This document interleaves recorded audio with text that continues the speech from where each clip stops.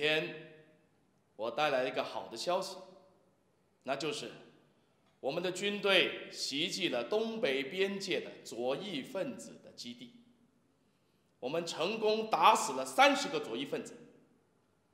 昨天我们在西南地区打死了二十个。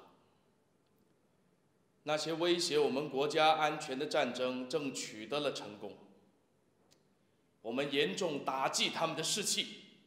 但是，不要以为我们已经成功摆脱他们的毁灭。要知道，战争仍然持续中，还会有更多的伤亡，其中包括我们的士兵。因此，我们必须保持强大。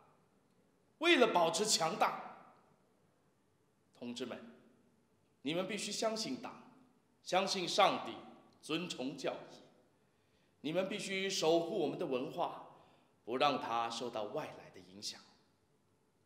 同志们，党是无上的，党将确保党员的权利，在全国各地享有优势的地位。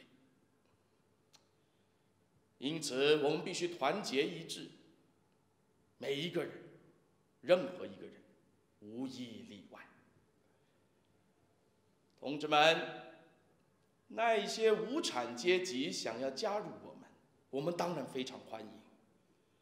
但是他们必须明白一点，那就是必须让党的成员感到开心满足，而不要让党的成员感到威胁，甚至质疑党的成员属于这块土地的权利。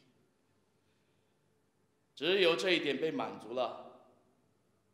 党的成员将跟他们和平共处，才会带来安定、繁荣、稳定。同志们，和平与我们同在。